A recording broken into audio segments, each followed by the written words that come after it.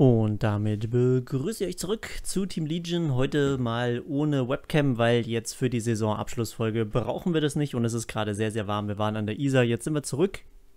Und jetzt dachte ich mir, dann mache ich doch mal weiter, damit ich eben auch mit der Saisonvorbereitung dann heute Abend starten kann. Und dann werden nämlich diese wunderbaren neuen Fahrer für uns an den Start gehen. Joey Roskopf ist mit dabei. Ich blende gerade mal die blendenden ähm, Eigenschaften der Fahrer ein. Und da sehen wir, dass momentan unser Topfahrer Joey Roskopf ist. Ebene 73 und so weiter. Da haben wir schon drüber geredet. 32 Jahre alt, wird sicherlich noch ein, zwei gute Jahre im Tank haben. Dann Eder Freire, Williams, Hated und so weiter waren natürlich vorher schon mit dabei. Alex Mather, unser Golden Boy, ist am Stissel, der allerdings nur ein Jahr bei uns bleiben wird. Hügelwert 70, Zeitfahren 69 sind schon sehr, sehr gute Werte und ich denke mal, dass das nächstes Jahr auf jeden Fall noch in den 70er-Bereich geht. Dann Theodorico Jara, ich weiß gar nicht, ob wir da vorher das Talent schon wussten.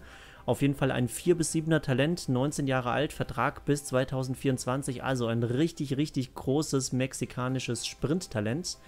Dann Alec Cowan, der bei den Weltmeisterschaften einen guten Eindruck hinterlassen hat. Unser aller Liebling, der Goldweinkanister, den wir auch Richtung Pancheur ein bisschen trainieren müssen, damit die Hügel einfach noch stärker werden. Also aus Curaçao, dann unser Bergtalent Colin Samuel aus Kanada. Talent äh, 5 bis 8, durchaus talentiert der Junge. Bergwert von 66, die Zähigkeit ist auch bei 66. Das äh, sind sehr, sehr gute Voraussetzungen für eine gute Karriere. Dann haben wir Mariano Arroyo, den Mann fürs Kopfsteinpflaster, der wahrscheinlich ein, zwei Jahre braucht, um sich zu entwickeln. Und da wir langfristig äh, Vertrauen in den Mann haben, haben wir ihm einfach mal einen Einjahresvertrag gegeben. Also da bin ich ja absolut nicht knausrig. Also Caden Hopkins, richtig talentierter Puncheur, 63, 64, also Hügel- und Beschleunigungswert. Auch der Rest ist in Ordnung. Sprint 59, Luft nach oben hat er natürlich ohnehin. Quentin Cowan, den Bruder von Alec Cowan, haben wir noch geholt und Hunter Grove nach, ja, ich glaube, er hat mindestens drei Beine verloren letztes Jahr, aber hat jetzt trotzdem schon wieder eine Fitness von 77 Prozent. Genau, also das ist der Kader fürs nächste Jahr. Da wird sich sicherlich dann auch für die neue Saison oder für die übernächste Saison dann einiges verändern. Ich, ich weiß, ich sage das relativ häufig, aber durch die zweite Saison werden wir tatsächlich dann auch ein bisschen schneller durchkommen, weil wir mehr Rennen simulieren. Ich muss mir da immer auf die Finger klopfen, weil ich immer in jedem Rennen äh, glaube, da noch mehr rauszuholen. Aber es geht ja auch nicht darum, dass wir jetzt hier 95.000 Siege einfahren, sondern dass wir die spannenden Rennen gemeinsam dann eben begleiten. Nachwuchsarbeit war auch noch ganz interessant, bevor wir natürlich gleich in die Transfers einsteigen. Unter anderem Ramon Cabrera ähm, aus Paraguay, Etappenrennfahrer mit einem Talent 5 bis 8, finde ich super spannend. Äh, momentan äh, Durchschnittswert von 58. Er ist ein Massi, also der räumt zu Hause seine Wohnung nicht auf und spielt jetzt auch für Paris Saint-Germain. Ähm, Massi wird wahrscheinlich ein Team sein, oder? Keine Ahnung. Massi Vivo. Achso, ich habe die Webcam nicht an. Verdammt. Jetzt habe ich gerade die Faust geballt wie so ein Depp. Ja, da muss man sich dann erst wieder umgewöhnen, dass die Webcam weg ist. Zum Beispiel habe ich gerade auch schon wieder reingeschaut. So, Finn Fisher Black, sicherlich eines der größten Talente. Ähm, dann haben wir Chris Longshaw, den wir so ein bisschen außen vor lassen können. Natürlich, Longshaw klingt auf jeden Fall so, ja, wie ein Pornoname. Da muss man nicht drum herum reden, so wie Lance Hartwood einfach, wer ihn noch kennt aus How I Met Your Mother. So, Lawrence Pithy, der auf jeden Fall so ausschaut, als wäre er früher auf dem Pausenhof gehänselt worden, aber seitdem kann der richtig schnell Rad fahren. Das ist also Forrest Gump aus Neuseeland. Ähm, haben wir auch auf dem Zettel, war jetzt nicht verfügbar. Da werden wir dann mal schauen, ob wir den einen oder anderen Fahrer für die Saison drauf dann verpflichten dürfen, die, damit wir auch Richtung Continental Pro kommen. Dann ein mexikanischer Sprinter, 24 Jahre, José Alfredo Rodriguez, ein Name, wie man ihn noch nie gehört hat. Jorge Perot, ein Ausreißer, 19 Jahre mit einem guten Talent von 4 bis 7.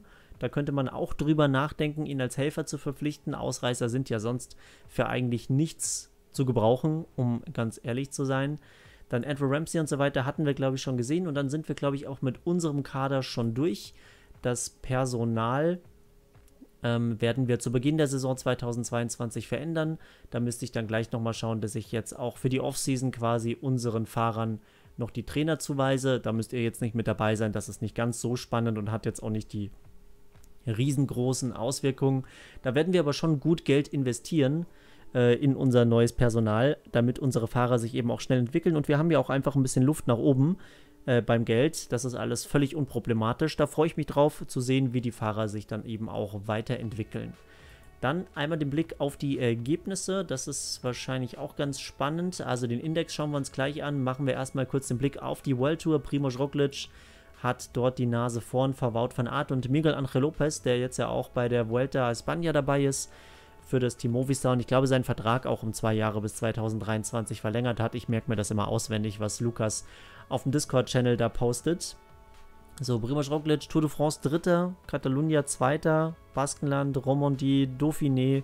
Aber für den ganz großen Wurf hat es leider wohl wieder nicht gereicht. Ne, also Tour de France nur der dritte Platz für Primoz Roglic, inzwischen jetzt 32 Jahre alt. Jünger wird er nicht, ne? Wahnsinnsspruch. Wout van Aert, werfen wir auch nochmal einen Blick auf den, ja, auf das Multitalent des Todes. Anders kann man es nicht sagen. Äh, Tour de France, das Führungstrikot zwei Tage lang getragen. Okay, eine Etappe gewonnen und einige sehr, sehr gute Ergebnisse eingefahren bei Weltmeisterschaften. Vorne mit rein Tirreno Adriatico geholt, Tour de Pologne, die jetzt ja, glaube ich, heute zu Ende geht. Äh, Tadej Pogacar auf der 4, Fulsan auf der 5. Und dann, glaube ich, müssen wir hier nicht einzeln drauf eingehen, aber auf jeden Fall ein ganz interessantes Bild. Wer war der beste Amerikaner? Wäre interessant zu wissen, vielleicht für die Zukunft für unser Team, auf was wir da verpflichten können. Ich werde diesen Satz einfach so lange in die Länge ziehen, bis ich den ersten Amerikaner sehe und es ist ausgerechnet Quinn Simmons, den ich persönlich jetzt so semi-sympathisch finde nach einigen Aussagen, die er getroffen hat. Aber gut, das äh, lassen wir einfach mal weg, bevor dort irgendeiner sagt, was, ist doch Meinungsfreiheit, du Idiot. ist es ja auch. Ich sage ja nur, ich finde den nicht sympathisch. Ähm, das äh, trifft auch auf einige andere Sportler zu, die weniger Dummes verzapft haben. So, Mathieu van der Poel holt sich die Kontinentalwertung, Jasper Philipsen auf der 4 und man kann sich, denke ich mal, schon denken, dass hier im Spiel Alpecin Phoenix natürlich in die World Tour aufsteigt. Die haben einen Bombenkader. Mal schauen, wie lange Mathieu van der Poel dort verlängert hat. Bis 2023 geht dort der Vertrag. Ja, Durchschnitt von 80. Kann man mal machen. 26 Jahre alt, inzwischen auch schon ein richtig alter Sack. Dann machen wir da nochmal den Blick. Kontinental sind wir mit unserem Mexikaner Eda Freire auf Platz 24 am Start, sogar vor Mikkel Reim. Dann müssen wir ein bisschen runtergehen. Lance Hated, Alec Cowan knapp außerhalb der Top 50, genauso wie Corey Williams. Und im Super Prestige müssen wir wahrscheinlich auch ein bisschen scrollen. Da ist dann Wout van Aert sogar vor Primoz Roglic und Tadej Pogacar auf der 3. Suchen wir mal unseren besten Mann. Das ist Eda Freire auf 179. Eigentlich total gut. Und die meisten Siege dieses Jahr geholt hat Okay, ja, das ist dann Richtung Kontinental natürlich wieder. Ähm, Raimond Kreder hat sich das geholt für das Team Ukyo, also für das japanische Team. Der Holländer erfolgreich, natürlich Sprinter. Schauen wir mal. Da waren bestimmt jetzt keine riesigen Rennen dabei, sieht man hier auch. Okay, äh, wahrscheinlich bei den ganzen Etappenrennen hat er sich die Sprints geholt. Also Glückwunsch nach Holland. Dann kommt hier Algerien mit Youssef Regigi. Dann Malaysia mit Harif Saleh Mot oder andersrum, jetzt habe ich wieder in die Webcam geschaut.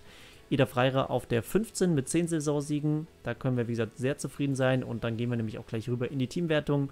Ich glaube, hier ist eigentlich immer ein, ein ziemlich ähnliches Bild. Bora Hansgrohe als bestes Team aus Deutschland auf der 10. Team DSM auf Platz 13. Da werfen wir mal ganz kurz den Blick auf die Saison, auch wenn wir das natürlich gleich ohnehin gemacht hätten. Ergebnisse und die größten Siege, na, Paris-Roubaix gegen Antiche Benot, ganz, ganz stark. Was haben die sonst noch gewonnen? Sparkassen Münster, Langiro durch Kespol, dann Tour de la Provence und dann waren es eher kleinere Rennen, wenn ich das richtig sehe. Bretagne Classic noch. Äh, Michael Storer hat sich die Etappe 3 bei der Dänemark-Rundfahrt geholt. Und bei der Emirates Tour gab es noch einen Sieg durch Kaspar Petersen, Nico Denz bei der Tour des Wissen-Etappe. Romain Bardet, internationale Österreich-Rundfahrt und bei Paris-Nizza noch durch Grand Andersen und dann gab es natürlich noch einige Bergwertungen und Sprintwertungen, also Team DSM ganz ordentlich erfolgreich. 32 Fahrer jetzt auch im Kader. Continental haben wir die Top 10 geschafft, das war eigentlich die Platzierung, die wir auch schaffen wollten. Das ist ziemlich gut, 1500 Punkte. Im Super Prestige sind wir wahrscheinlich wieder so um Platz 40, genau Platz 38 ist es dort geworden. Da ist Jumbo Visma auf Platz 1 und bei den Siegen sind wir mit genau 20 Siegen sehr, sehr gut im Soll. Mit Bike Aid waren es, glaube ich, äh, etwas mehr in der ersten Saison.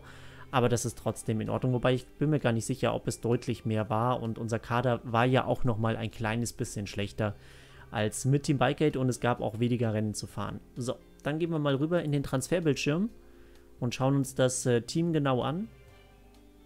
Transfer. Wesley Hill, da hatten wir ja auch mal drüber nachgedacht, den hatten wir auch mal auf dem Zettel. Vielleicht fährt er uns ja irgendwann mal über den Weg und dann gehen wir das einfach mal in der World Tour durch und finden schon mal ein paar sehr, sehr interessante Transfers. Alexander Vlasov, der jetzt ja der Königstransfer von Bora Hansgrohe war, der wechselt hier im Spiel zu AG Desea. Also das äh, ist so ein Wechsel, der sich einem äh, aus der Realität jetzt nicht so richtig erschließt. Ähm, AG Desert jetzt nicht dafür bekannt, äh, puh, äh, in, in, der Gesamtwertung eine große Rolle zu spielen. Wen hat er dort an seiner Seite? Parepentre könnte ihm natürlich helfen. Ansonsten sieht es allerdings auch schon eher schlechter aus. Vendrame und Godon sind noch ganz gut in den Bergen, genauso wie Cosnefroy, aber sind natürlich keine klassischen Bergfahrer, die da bis in den letzten Berg reinballern können. Dann äh, Quentin Jurigui, Jurigui wechselt zu AG Desert von BNB.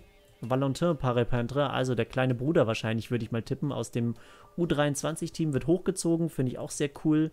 Und äh, Guillaume Miasso, der momentan arbeitslos war. Ben O'Connor geht zu der König Quickstep, Liliane Calmjan, Tony Galopin verlässt ebenfalls das Team. Und dann ist das eher mal unspektakulär, bis eben auf Alexander Vlasov. Dann schauen wir mal, was Alpecin Phoenix mit dem neuen Budget so anfängt, was sie dann für die World Tour bekommen. Davide Formolo stößt dazu, Max Kanter von Team DSM, Emile de Gent, Jan Willem van Schip, Peter Serri, Mauritz Lammertink haben wir noch mit dabei, Boy van Poppel kommt mit dazu und dann noch Jules Loh oder Laus, wie auch immer genannt. Äh, der stand, glaube ich, auch mal irgendwann in den Kommentaren, dass wir den verpflichten sollen, beziehungsweise dass das eines der größten Talente ist. Da habe ich mir den Namen irgendwo im Hinterkopf abgespeichert. So, Ben Tullett verlässt allerdings das Team und geht zu Astana, genauso wie Gianni Vermersch, der sich äh, dem belgischen Team Jumbo Visma anschließt. Alexander Krieger geht zu Bahrain Victorious, auch ganz interessant. Maurice haben wir da sonst noch was Interessantes dabei und David van der Poel wechselt zum Beat Cycling Team. Also so ein richtiger Königstransfer äh, ist da jetzt nicht dabei. Davide Formolo natürlich schon eine starke Ergänzung für die Rundfahrten, aber man sieht das hier auch an den Werten. Naja, 74 Berg, 79 Hügel, dann wahrscheinlich eher als Klassiker-Unterstützung zu sehen für Mathieu van der Poel. So, das nächste Team ist Astana. Über die Abgänge haben wir da schon jetzt gesprochen, dass Alexander Vlasov weg ist. Ben Tallet kommt hin und Lennart Kemner wechselt ebenfalls zu Astana. Auch ein Wechsel, der jetzt nicht so realistisch ist. Ähm, ich glaube, Lennart Kemner, der ja momentan so ein bisschen ja, mit, mit dem Kopf zu kämpfen hat, sagen wir es ruhig so, ähm, braucht sicherlich ein gutes Team in seinem Rücken und bei Astana wäre der Druck wahrscheinlich für ihn auch etwas zu groß. So, Fabio Aro, der ja eigentlich die Karriere beendet, kommt zurück von Team Kubeka zu Astana. Mattia Cataneo von der König Quickstep wechselt zu Astana. Den Rest könnt ihr euch hier selber so ein bisschen durchlesen. Sören Worenskjold, auch ganz interessanter Fahrer von Uno X, ja eines der Lieblingsteams äh, von vielen. Kann ich auch total verstehen. So, das wird auf jeden Fall Benji richtig das Herz bluten. Alex Aranburu wechselt zu Akea Samsik. Vlasov ist weg. Matteo Sobrero wechselt das Team. Jon Isagire geht zum FC Porto-Team, auch nicht schlecht. Also das ist die Königsverpflichtung da aus Portugal. Fabio Felazio geht zum Team Cobeca. Luis Leon Sanchez äh, äh, nicht verwechselt, sondern wechselt zum Karriereende. Und was auch ein sehr, sehr starkes Team inzwischen ist, da machen wir mal ganz kurz den Sprung rüber in die Continental Pro Tour. Da ist nämlich das Colnago-Team, das sich aus Continental richtig nach oben katapultiert hat. Natnel Tesfazion hier mit der 77 am Hügel. Das ist schon stark. 69 Sprint, 72 Beschleunigung. Also der Eritreer hat hier jetzt deutlich bessere Werte und ein höheres Talent mitbekommen, als er das bei uns hatte. Richtig guter Fahrer. Dome mit dabei klingt eher so, als würde er Skispringen machen. Alexander Kamp, Merhavi Kudus, Josef Areruya, also das Colnago-Team setzt auch sehr auf Afrika. Also da werden wir mal ein Auge drauf haben auf dieses orangene Trikot. Gefällt mir persönlich sehr gut, was dort passiert. Und dann springen wir wieder zurück. Jetzt machen wir das Ganze mit amerikanischem Akzent. Machen wir nicht, sonst wird es nämlich echt anstrengend. Benjamin Perry, auch interessant aus unserer Sicht, kanadischer Fahrer, den wir ja auch bei den Weltmeisterschaften, glaube ich, nominiert hatten. Ich weiß nicht, ob er dann im Endeffekt dabei war. Ich glaube, er war derjenige an der Seite von Alec Cowan. Ist aber jetzt auch schon wieder eine Woche her und da kann kein Mensch verlangen, dass ich mir das merke. So, Bora Hansgrohe, eher ein wenig Uiuiui, sehr, sehr übersichtlich. Äh, Alvaro Hodge kommt von der König Quickstep, der hat auch keinen Bock mehr. Ja, also dauernd werden ihm irgendwelche Sprinter vor die Nase gesetzt, mit denen er nicht mehr gerechnet hätte. Jonas Koch kommt von Intermarché, das macht Sinn, total sogar. Petre Rikunov und Franco Pletting kommen und dann geht dort einiges weg von Bora Hansgrohe und das wird sich wahrscheinlich auch im Index so auswirken. Es sind auch nur noch 25 Fahrer im Team. Zum Beispiel Pascal Ackermann geht zu Team DSM. Das äh, ist etwas überraschend, aber passt natürlich schon ziemlich gut. Äh, für das Team wäre er natürlich der absolute Spitzensprinter. In der Realität ist er zu, zum Emirates-Team gewechselt und äh, ihm wird bestimmt das Herz aufgehen, wenn er für die Tour de France als 16. Fahrer äh, als Ersatz nominiert wird. Äh, Lennart Kemner, genau, verlässt auch Bora Hansgrohe. Patrick Konrad geht weg. Ide Schelling geht zu Team DSM. Haben wir da schon drüber gesprochen? Ich glaube, wir hatten das schon mal im Bild. Also da wird sich Max freuen, da wird sich der Lukas freuen. Da gibt es einiges an Freude zu sehen. Daniel Oss geht weg. Markus Burkhardt, Andreas Schillinger beendet die Karriere. Maciej Botner geht zu Astana. Also Bora Hansgrohe macht definitiv für die neue Saison einen großen, großen Schritt zurück. Wirklich nicht nach oben. Und auch bei Bahrain Victorious sieht das jetzt nicht so stark aus mit den Neuverpflichtungen. Michelanda und Damiano Caruso sind natürlich zwei starke Fahrer, die man als Kapitän in eine dreiwöchige Rundfahrt reinschicken kann und die können ja natürlich auch das Podium fahren. Caruso hat es ja gezeigt beim Giro d'Italia mit seinem zweiten Platz. Michelanda hätte sicherlich bei der Tour de France eine starke Rolle gespielt und hoff, ich hoffe mal, dass er das bei der Vuelta jetzt schafft drücke ihm die Daumen, dass er da gegen Roglic und gegen Team Ineos mithalten kann. Neuverpflichtung auf jeden Fall schon mal John Degenkolb. Dann Alexander Krieger kommt mit dazu. Daniel McLay, Siskevicius, Markus Burkhardt und ansonsten noch ein paar talentierte Nachwuchsfahrer, unter anderem auch Frapporti von Iolo. Dann Peo Bilbao geht weg, Wout Puls geht zu Team DSM und Peo Bilbao geht zu den Ineos Grenadiers. Da bin ich mal sehr gespannt, wen die dafür abgeben oder ob die ihren Kader so zusammenhalten können. Das ist mal ein Transfer. Also das Union Raiffeisen-Radteam Tirol holt sich Marc Padun. Na sicherlich. ja, also man sieht das schon. Die haben jetzt halt keine anderen Fahrer mehr im Kader, die irgendwas können, aber interessant. Also Marc Padun macht erstmal sieben Schritte zurück, um dann vielleicht irgendwann wieder einen nach vorne zu machen. Cleverle. Santiago Bitrago geht zu Astana. Haben wir da sonst noch Interessantes? Heinrich Hausler beendet die Karriere genauso wie Marcel Sieberg und Yukiya Arashiro beendet ebenfalls die Karriere. Auch kein, kein Fortschritt für das Team Bahrain Victorious. Ganz klar. So, Kofidis verpflichtet auch kaum wirklich gute Fahrer. Äh, Pierre Roulon kommt vom BB Hotel. Da ist aber sonst eher Talent auf dem Zettel und dann gehen einige Fahrer, die man aber auch fast vernachlässigen kann. Natnael Berhane geht zum Global Six Cycling Team. Das sagt mir irgendwie auch erstmal nichts. Ein anscheinend australisches Team. Da ist er jetzt auch der Teamkapitän. Zusammen mit Sebastian Rudy Porter. Aber Kofidis, ja, waren noch nie das spektakulärste Team. Guillaume Martin, Christophe Laporte und Elia Viviani bleiben auf jeden Fall hier im Spiel zumindest. Ich glaube, da ändert sich, zumindest bei Elia Viviani, ändert sich das Team für die kommende Saison. Weiß aber nicht, ob das schon sicher ist. So, also der König Quickstep denkt sich, nee, wir wollen auch bei den großen Rundfahrten mal richtig reinhauen. Deswegen äh, verpflichten wir Jaron Thomas, der hat Talent, der ist jung, der ist knackig, 35 Jahre, jawohl, das passt. Und weil das bei Jaron Thomas so gut passt mit den 35 Jahren und dem Talent, machen wir das natürlich bei Richie Port auch. Der ist nämlich noch ein Jahr älter, der ist noch knuspriger. Dann holen wir uns den noch ins Team.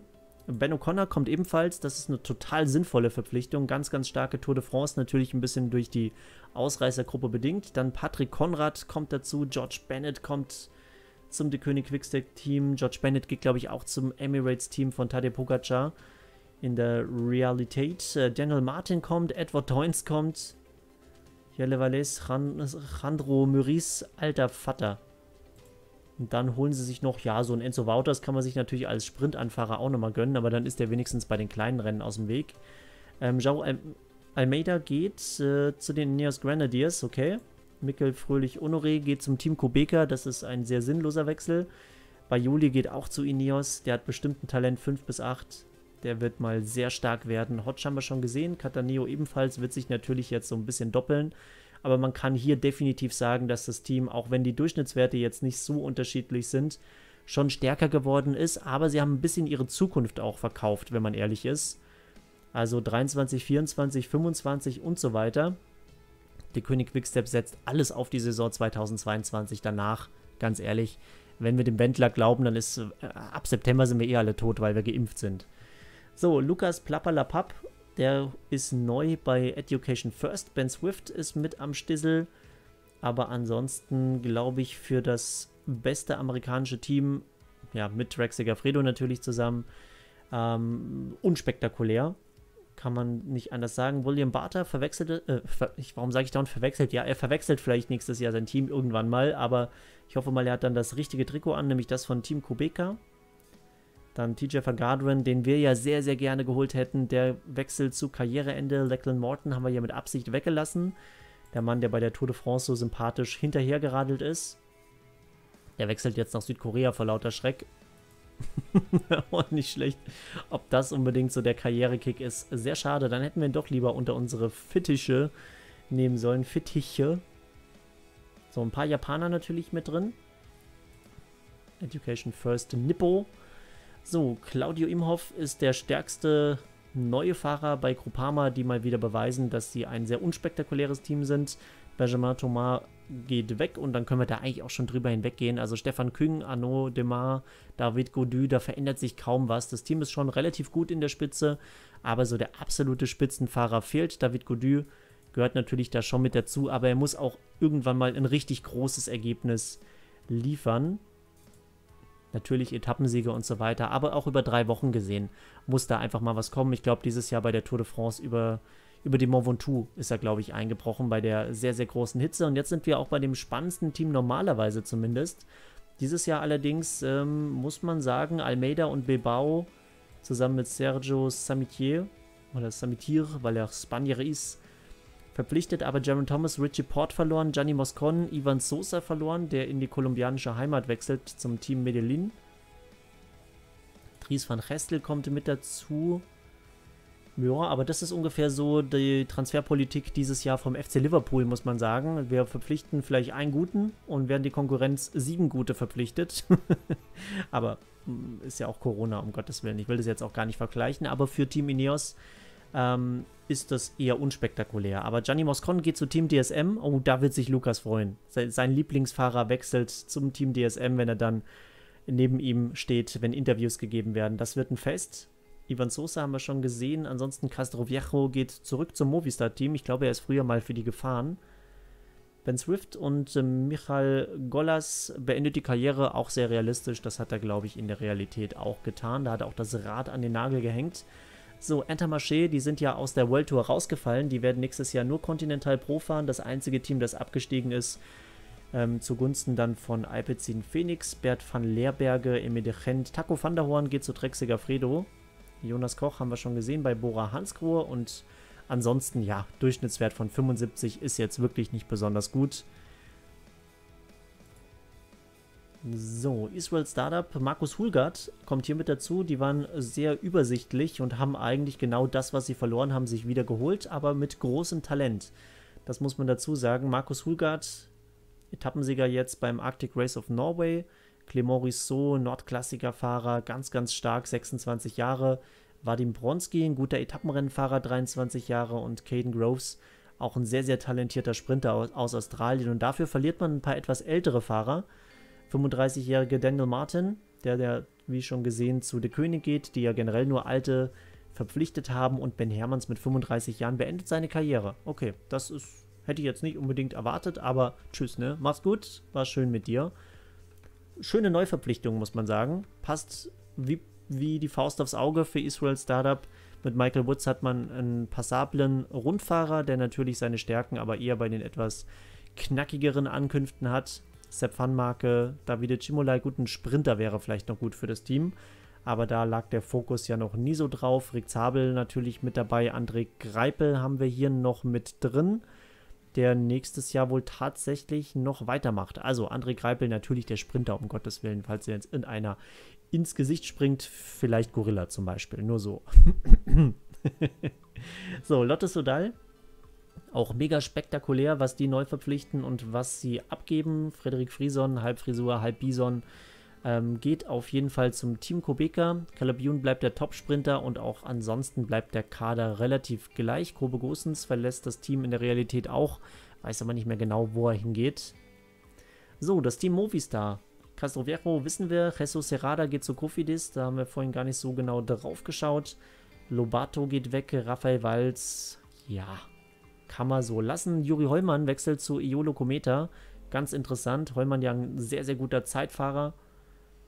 Noch junger Fahrer, 22 Jahre. Achso, er wird jetzt als Nordklassiker-Fahrer einkategorisiert. Ich dachte immer, seine Stärke wäre tatsächlich das Zeitfahren. So, Carlos Verona geht zu Bike Exchange.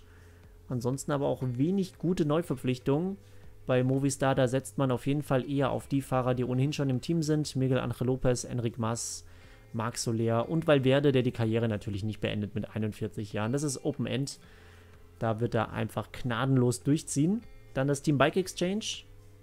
Christopher Halverson kommt dort, Carlos Verona und ansonsten noch ein paar jüngere Talente und Ben Dybal, der auch bei Juventus spielt, nebenbei kommt vom Team Ukyo. Und Caden Groves, Skabu Girmay geht zum Electro Hyper Hyper Europa Team. Auch ganz schönes Trikot eigentlich. Vor allem Elektro Hyper Europa und dann ist es Argentinien. Also naja, muss man nicht verstehen, aber macht ja nichts. Wahrscheinlich kann mir das irgendeiner erklären, dass ich ein Idiot bin. So, also Bike Exchange bleibt auch relativ unverändert. Simon Yates, der Rundfahrer, Lucas Hamilton und Esteban Chavez können das auch sehr, sehr gut. Robert Stannard eher für die Eintagesrennen. Auch Michael Matthews hier natürlich drin. Mikkel Nieve, ein ordentlicher Kader, aber Bike Exchange hat mich dieses Jahr jetzt wirklich nicht vom Hocker gehauen. Mit Simon Yates zu Beginn schon. Aber ja, war jetzt auf jeden Fall nicht der absolute Kracher. Und der absolute Kracher ist auf jeden Fall die Transferpolitik von Team DSM. Mit Pascal Ackermann holt man sich einen super Sprinter rein. Ja, 78, 77 nur noch. Der wurde böse runterplatziert hier im 21er Pro Cycling Manager. Da ist Kees Bohl wahrscheinlich sogar stärker. Ja, 79, 78. Also Ackermann Anfahrer für Kees Bohl. Mit Tish Benot, Raymond Bardet und Jay Hindley hat man ohnehin richtig gute Fahrer schon gehabt. Ilan van Wilder, wahrscheinlich eines der größten Talente des Radsports, äh, ist hier auch mit am Start. Der wird wahrscheinlich das Team ja sich so ein bisschen wegklagen. Hat zwar noch Vertrag auch für die kommende Saison, aber da gab es jetzt auch schon irgendwelche Querelen. Ähm, und Ilan van Wilder wird, wenn das Team DSM das zulässt, äh, da wahrscheinlich den Belgier aus dem Vertrag rauslassen. Was aber, sie müssen es nicht, ähm, aber wird wahrscheinlich so passieren. Zumindest hat das ja bei Team DSM die letzten Male, wenn es solche Fälle gab, immer mehr oder weniger dazu geführt, dass man sich dann doch einig geworden ist. So, also, Gianni Moscon wechselt, äh, Ide Schelling kommt mit dazu, Ramon Sinkeldam und Dennis van Winden. Und dafür verlassen Max Kanter, Nico Denz, Chet Hager und ähm, der Bruder von Søren Gro Andersen, der Arschbjörn. Siehst du, deswegen könnte ich schon nicht bei Team DSM arbeiten. Also wenn ich ihn rufen müsste, ich würde einfach lachen. Ist, ist total dämlich, aber macht ja nichts. So, Team Jumbo Visma macht das auch sehr übersichtlich. Sie verlieren im Grunde eigentlich nur George Bennett, aber Christoph Pfingsten geht zu Team Bike Aid. Sehr, sehr nice. Also Christoph Pfingsten, richtiger Ehrenmann und was für eine Bombenverpflichtung das ist für Team Bike Aid. Der kann richtig viel. Stark und äh, ansonsten Verstärkungen gibt es für Warren Buggy äh, für Primoz Roglic kommt Warren Bagui an die Seite, sicherlich auch für die Rundfahrten, aber auch für Wout van Aert bei den Eintagesrennen, genauso wie Gianni Vermeersch dann eben bei den Kopfsteinpflasterrennen nochmal unterstützt. Äh, Sandor Behrens, junger, talentierter Fahrer. Also Jumbo Wismar bleibt stabil, haben die Verträge verlängert oder hatten ohnehin schon langfristige Verträge mit ihren Fahrern. Das passt doch gut. Dann das Team Kubeka, die waren sehr, sehr fleißig auf dem Transfermarkt, das haben wir schon gesehen. Matthäus Rupero, Mikel Honoré, William Barter, Fabio Felazio, Frederik Frieson. Die haben auf jeden Fall auch sehr nach geilen Namen verpflichtet. Und dann gibt es noch einige südafrikanische Fahrer. Oh, Clint Hendricks. Mega gut. Clint Hendricks ist back. Der Mann, der eigentlich ja letzte Saison zumindest noch bei Team Bikeaid am Start war. Gibt hier aber keine Daten leider über ihn. Also Clint Hendricks ist back. Jetzt haben wir auch mal ein Bild zu ihm. Sieht ein bisschen aus wie Virgil van Dijk, der seinen Vertrag bei Liverpool auch verlängert hat. Robert Power wechselt zu BNB. Aru ist weg. Pozzo Vivo beendet seine Karriere. Auch sehr schade. Sehr cooler Fahrer immer gewesen. Und Bertjan Lindemann wechselt zum Evo Pro Racing. Das Team, wo ich das Trikot so geil fand.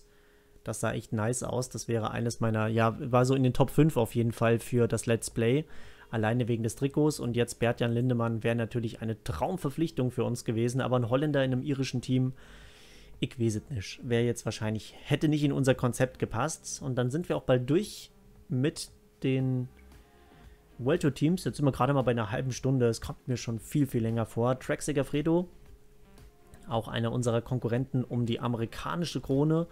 Kovi wird äh, geholt. Ja, weiß nicht, in Covid-Zeiten könnte man drüber nachdenken, das auch einfach ins Karriereende zu schicken. Mit 23 Jahren allerdings dann auch schwierig. Alles Taco, Van der Horn.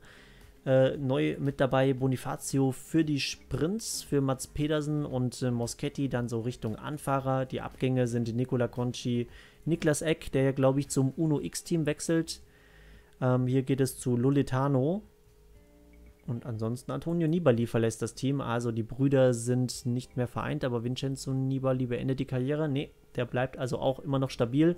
Und äh, Kuhn de Kort äh, geht ins Karriereende und das äh, war in der Realität ja auch so. Da gab es ja, glaube ich, auch den Unfall. Aber er wird im Team Trek Segafredo seine Rolle bekommen und dort quasi nach der Karriere weiterarbeiten. So, Team Emirates, das ist nochmal sehr interessant. Die verstärken sich nämlich momentan wie Bolle und hier im Spiel verstärken sie sich äh, wie Bolle es nicht tun würde. Ich weiß nicht, wie man es anders formulieren soll, aber Bolle hätte da auf jeden Fall mehr gemacht. Die holen sich nur Benjamin Thomas.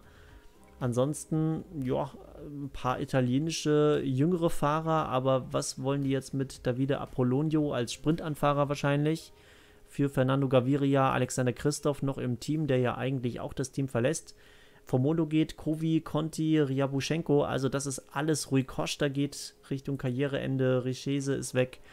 Alles nicht so, wie man sich das momentan täglich ja in den Radsport-News anhören muss. Ähm, etwas enttäuschend. Da habe ich mir jetzt mehr erwartet. Tadej Pogacar bleibt damit mehr oder weniger Rafael Maika nur an seiner Seite.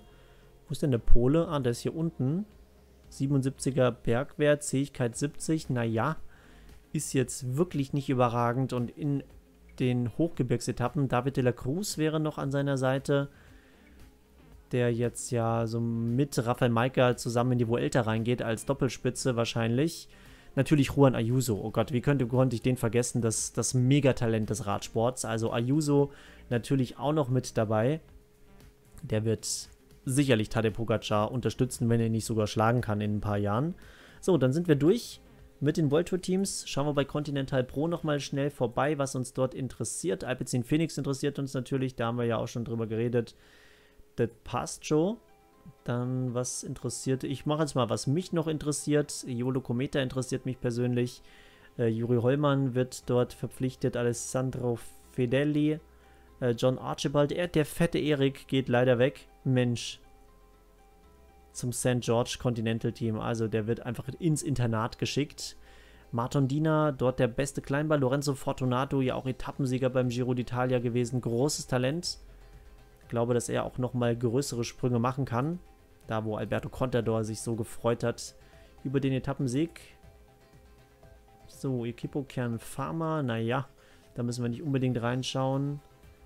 Rally Cycling, schauen wir nochmal kurz vorbei. Joy Roskopf geht eben zu Legion of Los Angeles, wo ich jetzt aus Versehen draufgeklickt habe. Völlig sinnlos. So, da sind wir wieder. So, Matthew Riccitello den wir ja auch auf dem Zettel hatten als Golden Boy, der wechselt dorthin, hat sich auch schon am Berg richtig verbessert. Harry Phillip, einfach, oh, ich kann mich nicht entscheiden, welchen royalen Namen nehme ich jetzt. so, Cory Lockwood, nicer Name. Und dann sind die Abgänge auf jeden Fall stärker als die Neuzugänge. Vielleicht können wir Rally Cycling dann irgendwann auch mal als Nummer 3 angreifen, wobei wir das dieses Jahr ja schon relativ gut geschafft haben. So, Timakea Samsik vielleicht noch interessant. Was macht Nairo Quintana und vor allem, was verpflichten die neu? Alex Aranburu kommt mit dazu. Dafür verlieren sie Warren Bagui, Clément Rousseau und Thomas Baudard. Auch Daniel McClay geht weg. Quintana trotzdem noch im Team. Nasser Buhani, Flores an der Seite von Quintana ist dann noch am Start. Die Grossa, ja, aber auch kein gutes Jahr hatte.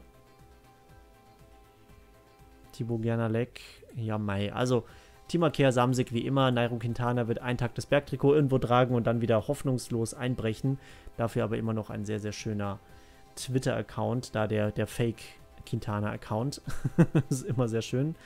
So, Total Energies oder Total Energie, die sich ja ähm, Peter Sagan unter den Nagel gerissen haben, mit einem der hässlichsten Trikots, das einfach aussieht, als wären wir noch in den 90er Jahren gefangen. Ganz, ganz schrecklich. Emmanuel Morin, die Top-Verpflichtung, Galopin kommt mit dazu. Clement auch so, Cyril Gauthier mit 34 Jahren, aber sie verlieren auch einiges Wichtiges wie Dries van Restel, Bonifacio, Bo Bossan Hagen, der die Karriere nicht beendet, 34 Jahre, wechselt zurück in die Heimat zum Uno X-Team ja auch ein Drama gewesen mit Boisson Hagen, wie er die, das Zeitlimit bei der Tour de France verpasst hat. Uno X holen sich eben Boisson Hagen, verpflichten ansonsten junge Nachwuchstalente, verlieren Markus Hulgott, Christopher Halverson und Sören Worenskjold. Das Team ist also definitiv schwächer geworden für die neue Saison. Schade. Und dann machen wir natürlich noch den Blick auf das Team Bike Aid. So, die haben sich nämlich gut ähm, verbessert. Unter anderem Florian Lipowitz vom Tirol KTM-Team geholt. Sehr, sehr stark. 21 Jahre, Bergwert 73. Team Bike Aid wird also relativ gut aufgestellt sein. Man sieht das hier schon. Für die neue Saison. Christoph Pfingsten haben wir gesehen. Dann kommt Pierre-Pascal Keup vom Team Lotto Kernhaus. Auch eine schöne Verpflichtung. 20 Jahre alter Puncheur. Das läuft gut. Christopher Hatz, den hatten wir auch schon mal, ich glaube, in einem Jan Ulrich Pro Cyclist. Da haben wir immer gesagt, entweder mal Hatz oder mal Hatz nicht. Und Theo Zetsche. Ich glaube, Bikeaid wird bald von Mercedes abgelöst als Hauptsponsor. So, Max Debisay verlässt leider das Team. Geht zum General Store. Eieiei, das ist aber auch ein Name. Also er geht zum italienischen Team zusammen mit Joshua Huppertz kann passieren, ne? Huppertz. Klingt einfach echt, als würde man über so einen Hubbel fahren. Schönes Ding. Charles Kagemo geht zu Shenzhen Xicheng Cycling Team. Da ist er auf jeden Fall in guter Gesellschaft und man sieht es schon im Durchschnitt. Okay, Italiener, Belgier und unten kommen einfach die ganzen Chinesen. Äh, Finde ich auch sehr spannend. Aber das. Die fahren wahrscheinlich alle für Hübi. Äh, Jasper Palke geht weg und Matthias Schnappker beendet mit 41 Jahren die Karriere, während Alejandro Valverde immer noch am Stissel ist. Also gutes Team, schönes Team Bikegate, Justin Wolf im Zeitfahren mit der 74 inzwischen, also auch nochmal einen kleinen Sprung nach oben gemacht. Florian Lipowitz hat bestimmt noch Luft nach oben, Bergström Frisk. Guter Rundfahrer, Carstensen für die Sprints an der Seite von Jesse DeRoy und dann hat man da auch noch ein paar gute Anfahrer hier unten mit Christopher Hartz und Zetsche. Total gute Kaderstruktur bei Team Bike 8. Da kann man eigentlich echt nicht meckern. Dann gehen wir nochmal rüber und gehen die Liste durch, falls wir irgendwas Interessantes verpasst haben. Weiß es gar nicht, welche Teams wir hier normalerweise jetzt gerade noch so auf dem Zettel hatten. Das Development Team DSM. Boah, Henry van den Abele 74. Auch nicht schlecht. Also auf jeden Fall interessante Transfers, die wir hier gesehen haben. Schauen wir nochmal die deutschen Teams durch. Äh, P&S Metalltechnik, die wirklich auch in den Top 5 waren von meinen Teams. Da ist auch Kollege Schnürschuh ist da jetzt am Start. Alexei Schnürko äh, Matteo Bussato, 33 Jahre. Ansonsten natürlich ein sehr junges deutsches Team. Michel Aschenbrenner, Paul Konrad Jägeler und Robert Jägeler. Ich würde mal tippen, dass die verwandt sind miteinander, ist aber jetzt einfach nochmal so rein ins Blaue geraten. Dann das Ratennet-Rose-Team mit dem Felix Groß, der nächstes Jahr im Team bleibt. Leon Rode bleibt ebenfalls. Für den Berg haben sie Jakob Gessner und Paul Rudis, allerdings mit 67er Werten nicht ganz so stark. Dann schauen wir nochmal bei Team Downer vorbei. Da ist Markus Pajur aus Estland, ein guter Sprinter, 71-72. Damit wäre er unser Top-Sprinter momentan, also das wollen wir nicht unterschätzen. Und Andri Brata Brataschuk bei Team Downer. Ja, Mai, das ist doch der Hammer. Da freut sich Benny. Andri Brataschuk, der Gesichtsausdruck ist auch, äh, verdammt, warum, warum kann mich niemand auf Null setzen? das ist wirklich so. Also Andri Brataschuk, die Legende aus äh, unserer Sparta-Weltmeisterschaft, die Sportfan Rob damals gebastelt hat. Und dann, wie gesagt, der Blick noch auf das Team Lotto Kernhaus. Kim Heiduk hat sich hier auch auf die 75 verbessert, wie ja auch in der Discord-Story, äh, die bei uns stattfindet. Da ist er auch auf 75, glaube ich, hochgeschossen. Jason Osborne bei Olympia auch dabei gewesen. Ich glaube, nur eine andere Sportart, bin ich mir gerade unsicher. Luca Bockelmann ist hier auch am Start. Sehr, sehr schön. Also wir treffen auch auf einige Kollegen von früher. Und dann schauen wir noch beim Team SKS Sauerland rein. Da ist auch der, der Iste, der stärkste Fahrer im Zeitfahren. Gerd, ja, Gerd, ja, ich mache halt einfach mal 46 verschiedene Zeichen über ein paar Vokale und dann habe ich auch einen Namen zusammengeschustert, den kein Mensch aussprechen kann. Johannes Hut ab. Hut ab. Ne? Das klingt aber auch sehr gefährlich, Hut ab, wenn man sich da einmal verspricht. Dann ist der Arzt schon am Schnibbeln. Per Münstermann, der bewegt sich immer per Münstermann. Michel Gieselmann. klingt doch alles, doch alles ausgedacht. Das ist doch alles nur geklaut. Io, Io. Nasu Blasen, mein persönliches Lieblingsteam. Klingt sehr, sehr schön. Und Nasu, wenn man da ein bisschen nuschelt, das äh, verdient man sich auf jeden Fall immer mal ein Fuffi mit dazu. Muss man aber nicht unbedingt. Man kann natürlich auch sein Geld anders verdienen, aber man kann das auch damit verdienen. Das ist äh, völlig in Ordnung. Und jetzt schweife ich wieder ab und werde wahrscheinlich in den Kommentaren damit bombardiert, worüber ich hier gerade rede. So, das waren die Teams, das waren die Transfers. Was für uns jetzt spannend wird, auch wenn wir erst am 29. Oktober sind. Äh, Nachwuchs haben wir jetzt schon, für, für den Nachwuchs haben wir einiges gemacht. Ähm, und wir können bis einschließlich Februar ein, äh, ja, ein U23-Team entwickeln. Und ich würde jetzt mal das Ganze durchlaufen lassen bis zum Januar und dann werden wir gemeinsam ein Team entwickeln. Und die Frage ist natürlich auch an euch, wie groß soll dort der Kader sein? Ich würde den Kader relativ klein lassen, weil 20 Fahrer, ich weiß es nicht genau, ist dann vielleicht schon wieder ein bisschen viel und da sind vielleicht auch zu viele talentierte Fahrer mit dabei. Wir können hier oben die Region ändern, wo wir scouten wollen, ob wir das jetzt für die USA machen zum Beispiel oder dann eben auch ein kleines Land nehmen, das sich eben in Nord-, Süd-, Mittelamerika befindet. Das würde ich jetzt ganz euch überlassen. Ich lasse jetzt hier mal die USA drin stehen. Dann können wir schauen, ob das die Rekrutierungszone eben die Welt sein soll, was glaube ich keinen Sinn macht, die Region oder eben das komplette Land. Ähm, da schreibt einfach mal in die Kommentare, was ihr gerne hättet. Ihr könnt natürlich auch noch einen Namen vergeben für das U23-Team. Da würde ich mich auch freuen und dann schauen wir einfach mal. Wir haben ja noch ein bisschen Zeit. Personal wird verpflichtet. Material für die neue Saison haben wir auch schon Verträge abgeschlossen. War jetzt unspektakulär. Wir sind jetzt überall auf jeden Fall im Forschungs- und Entwicklungsprogramm mit dabei. Bei Pinarello, Campagnolo und Shimano sind wir dort unter Vertrag. Finanziell geht es uns richtig, richtig gut. Da sieht man schon, ab Oktober verdienen wir auch deutlich mehr. Deswegen werden wir das dann ins Personal und in das Entwicklungsteam reinstecken, das Ganze. Und dann freue ich mich echt auf die neuen Fahrer. Das wird richtig geil. Gerade auch äh, jetzt mal für die Sprintanfahrt nochmal mehr Optionen zu haben mit ähm, Yara und mit Kanister. der beschissenste Name Kanister. Aber Goldwein-Kanister aus Curacao, den werden wir zum grünen Trikot bei der Tour de France einfach peitschen. Das wird ein Fest werden. So, jetzt muss ich kurz überlegen, haben wir noch irgendwas? Wir haben eigentlich die Ergebnisse gezeigt, die Transfers haben wir gezeigt. Nero ist auch schon am Bellen und denkt sich, jetzt reicht's auch, mein Freund. Dann haben wir, glaube ich, alles gesehen, was wichtig ist. Oben noch ein paar Brüche mit eingeblendet. Ich sage Dankeschön fürs Schauen für die erste Saison. Und in der nächsten Folge geht es los mit der zweiten Saison mit Team Leechen, also L-I-T-S-C-H-E-N, Team Leechen, vielleicht noch ein E eingebaut nach dem I ähm, dann klingt das noch geiler. Ich freue mich, wenn ihr auch in der zweiten Saison so reichlich mit dabei seid. Und jetzt habe ich auch wieder ein bisschen mehr Zeit, so als kleinen Schlussakkord, weil bei der Arbeit dieses wichtige Projekt, was ich hatte, das ist jetzt erstmal soweit fertig. Jetzt wird getestet, aber das ist jetzt alles nicht mehr so stressig. Und dann hoffe ich auch, dass ich weniger gestresst bin als das die letzten Wochen der Fall war und werde auch wieder Kommentare beantworten und äh, häufiger Videos bringen. Hoffe, ihr habt ein bisschen Spaß dran weiterhin und die zweite Saison wird mindestens so geil, wenn nicht sogar noch viel, viel geiler mit den neuen, jungen, talentierten Fahrern, die wir verpflichtet haben. Also Dankeschön fürs Schauen und bis zum nächsten Mal.